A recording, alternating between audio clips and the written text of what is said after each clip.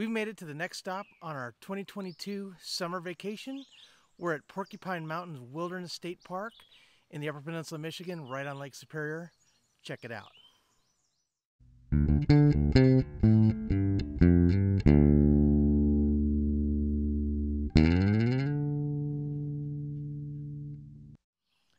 Hey guys, I'm Kevin with Kemp Outside, your inside source for all things outside. We're on our 2022 summer vacation with our family and we are touring around Lake Superior. This is stop number four on our trip, which is Porcupine Mountains Wilderness State Park in the Upper Peninsula of Michigan. The last time I was here was 2001. I'm very excited to finally be back and to show my family and explore all around this park. We're here for a couple of days, so stay tuned as we cook and hike and see Lake Superior and swim and all that stuff and come along with us. Check it out. After setting up, we had hamburgers and fries for dinner. What an awesome way to end the evening. And then the next day, it was on to exploring. So, our first stop to explore is Lake of the Clouds in Porcupine Mountains Wilderness State Park. Last time I was here it was about 2001. I was 21 years old. I stood here, somebody took my photo. I have this photo somewhere at home. It is so good to be back. It's a little bit of a climb up. It's really buggy today, as you can see, but we're having an amazing time. Let me spin the camera around and show you the Lake of the Clouds. So here we are. There's the river. And then as I pan over, we'll show you the lake. Part of the trail down there is a bridge that crosses the river. Look at that. That's absolute, ama absolutely amazing.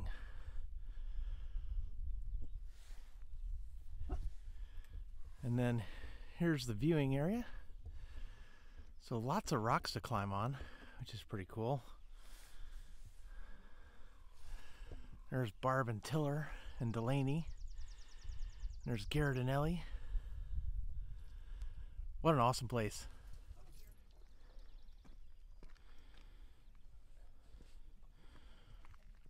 Yep, Porcupine Mountains are just beautiful. Look at that.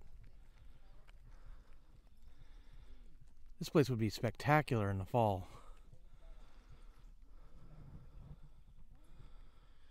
There's another amazing view of Lake of the Clouds. I could stay here all day. Except for the bugs. On our way to our next spot, we found this spotted salamander crossing the road. It was totally cool. I hadn't seen one in years, so we helped him cross the road and be on his way. Check out this spotted salamander we saw crossing the road. How awesome!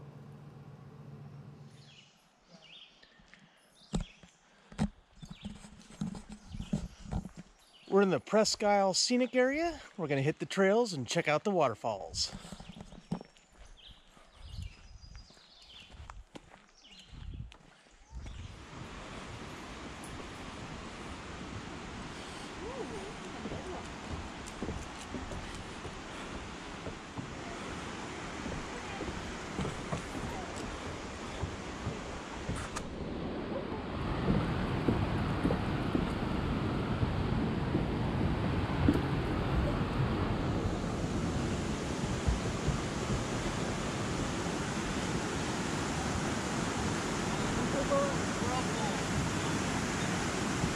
Yeah.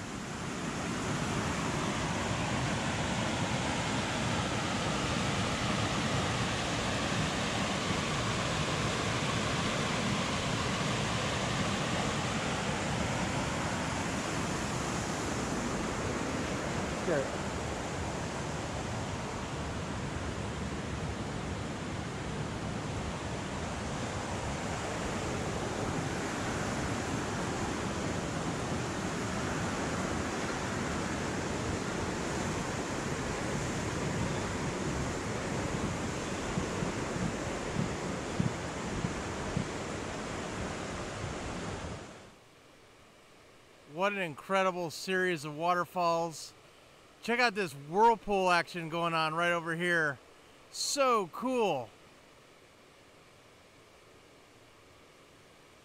you gotta come to the Presque Isle area if you're at Porcupine Mountain State Park.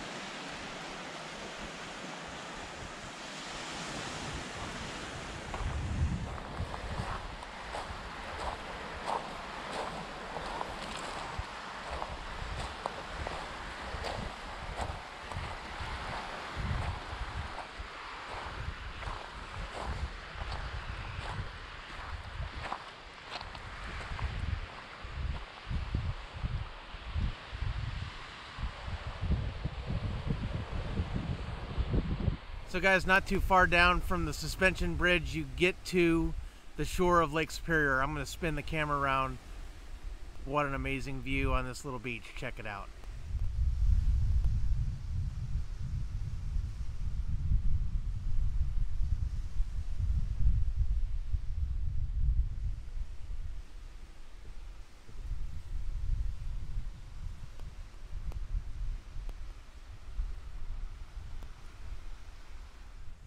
I could spend all summer here. Honestly, I probably should. Look at that. That is gorgeous. What a cool place to explore. I know I keep saying that, but I just don't get tired of looking at this.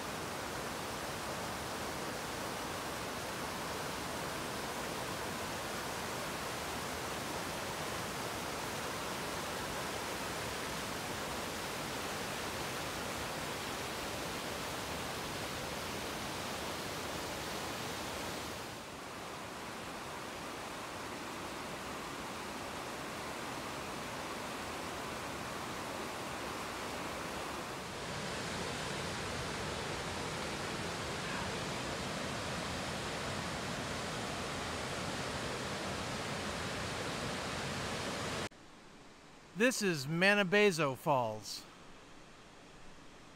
Amazing.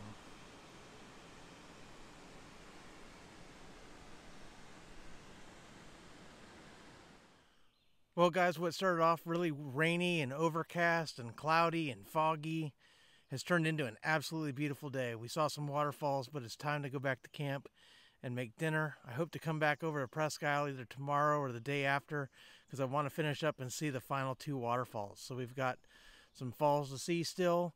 We're going to continue on exploring in the park, but I think tonight it's time to just relax by the campfire, have some dinner, and just chill out with the family. Stay tuned. We found this painted turtle close to the road. We're going to make sure he crosses safely and get him out. What a cool guy, huh? Look at that color. It's beautiful. Sitting by the fire before dinner. We had pudgy pies and s'mores for dessert. We're having a great time here at Porcupine Mountain Wilderness State Park. The dogs are growling at dogs walking by. It's pretty funny. These little half-hearted growls as they sit in their camp chairs. I'll spin the camera around so you can check it out. There's Ellie and Tiller paying attention to what's going on around them. Then here's what's left of our fire. Sun goes down really late here in the summertime, so it is almost 10 o'clock. The sun has just set, and in eight hours, it'll be sunrise. So we're going to do a lot more exploring tomorrow. I'm going to make my full camp breakfast with bacon, eggs, hash browns. And then we're going to spend some time chasing waterfalls, doing some hiking, checking out the park, and maybe, just maybe, swimming in Lake Superior. Stay tuned for tomorrow.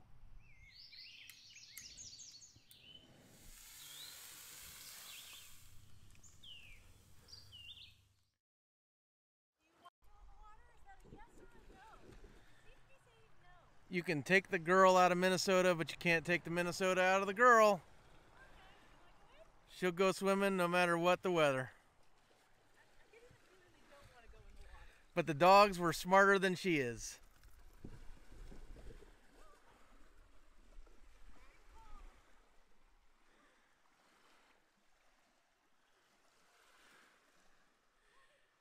Air temp is mid 50s, water temp is probably 50 degrees. there she is. And Ellie decided to join Barb in the water.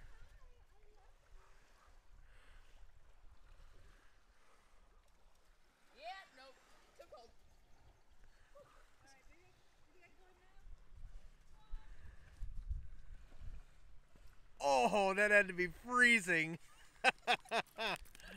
nope, not me. Ellie's got the zoomies.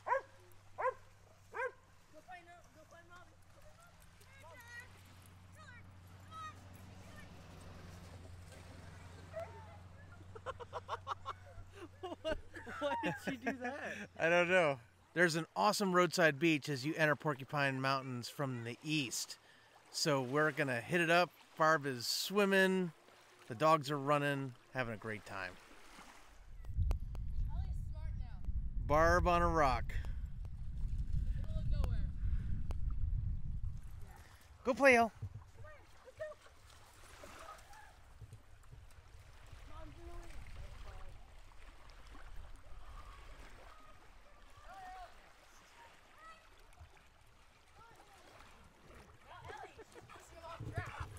Well, after that fun jaunt at the beach at Lake Superior, we're back on the Presque Isle side of Porcupine Mountain Wilderness State Park, checking out more waterfalls like we did yesterday. We're at Manido Falls. Guys, check this out.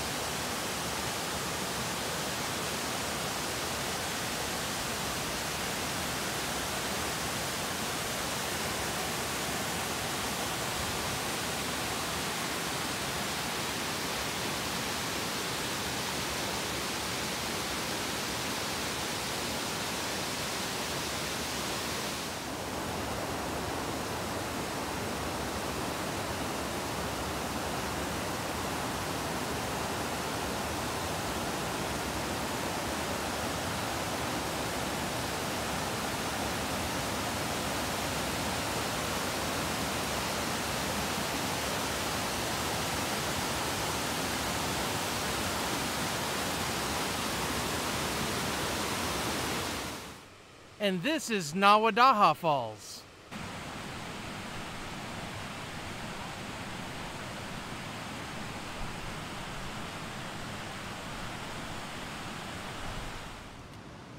Check out the awesome fungus.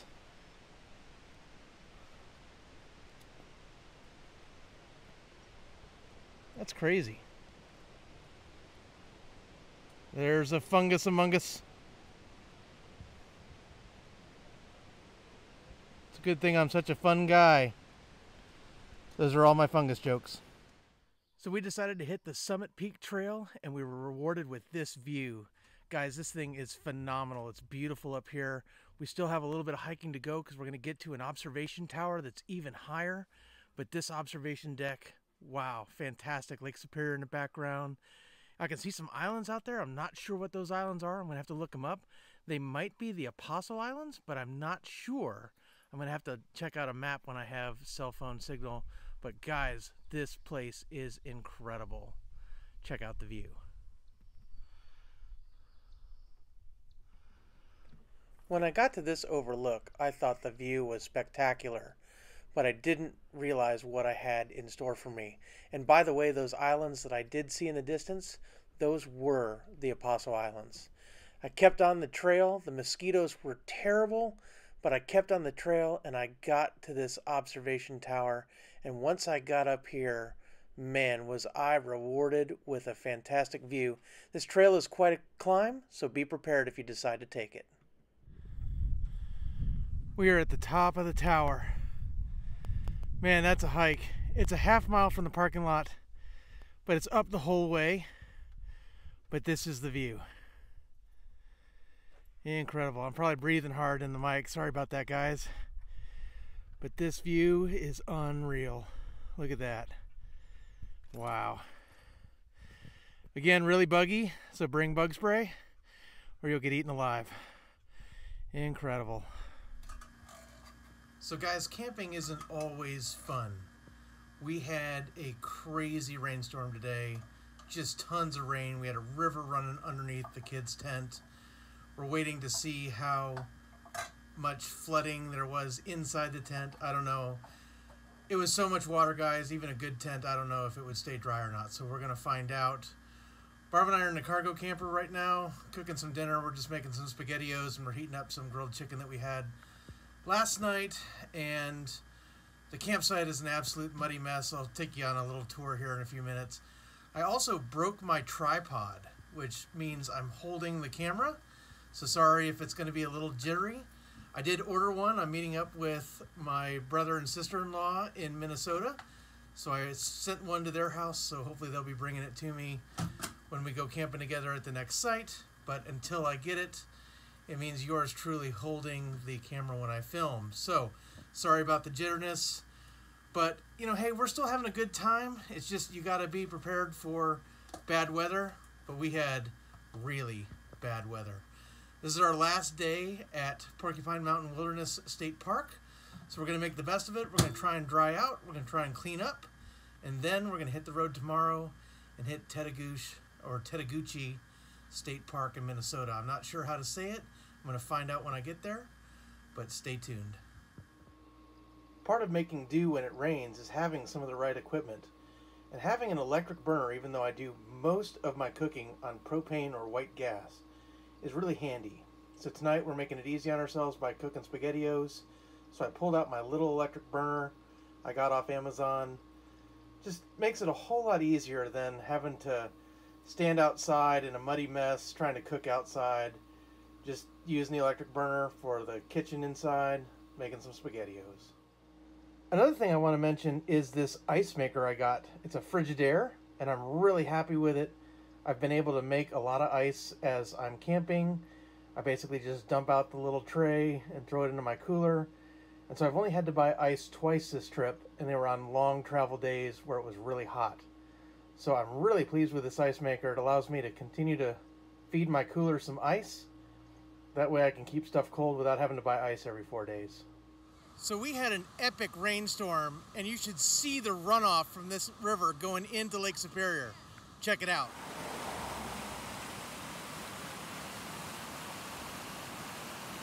That is a lot of water.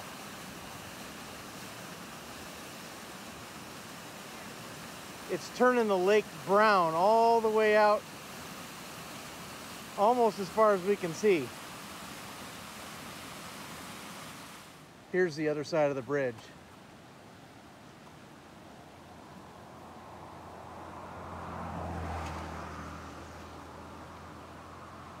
That is a lot of water. Okay guys, so here's our campsite after the rain. You're gonna see it's a muddy mess. I'm gonna turn the camera around and give you a little tour. So as you can see here, there is a river flowing under the kids' tent. It's surprisingly dry in there. The floor's a little wet. We're gonna air things out. Uh, but overall, I was really impressed with how well it did. And then as you can see, it's just so muddy. So I'm gonna walk up here by the cargo camper and the water's just coming out of this, out of the woods and just right down our campsite. So you can see just the camp kitchen is just a muddy mess. Flowed under the screen house. All of our chairs got soaked. We should have done a better job of pushing them in towards the center. Just trying to dry stuff out. We're just ate dinner. We're gonna clean up here in a minute. Of course, everything in the Kodiak is dry. And there's Barb working our way up, but just a muddy mess. Well, guys, Mudpocalypse is officially over. We've packed up and left. We're on our way to Tetagouchie State Park in Minnesota on the North Shore Lake Superior. And as you can see, guys, it's not always a real fun time camping, but we always have a great time nonetheless. We just have to make do and make it what it is and just roll with it. So we're going to dry out at Tetagouchie State Park and have a great time. We're meeting some family there. My wife's family is going to come and camp with us, so we're excited about that. So stay tuned for the next episode on our 2022 Kemp Outside summer trip. Guys, we exist to help moms and dads take their kids camping, hiking, fishing, learn about nature, and develop a conservation ethic. We want to help you get you and your kids outside. So if you have any questions about Porcupine Mountain Wilderness State Park, drop something in the comments below. We'd love to hear from you. You can hit us up on other social media at Facebook, LinkedIn, Instagram, and Twitter, or our website at kempoutside.com. Also, be sure to check out our Campsites by Kemp Outside YouTube channel, where we will bring you a bunch of campsite review videos from the Union Bay Campground at Porcupine Mountain Wilderness State Park. So be sure to check that out as well. Guys, until next time, thanks for watching. We'll see you later.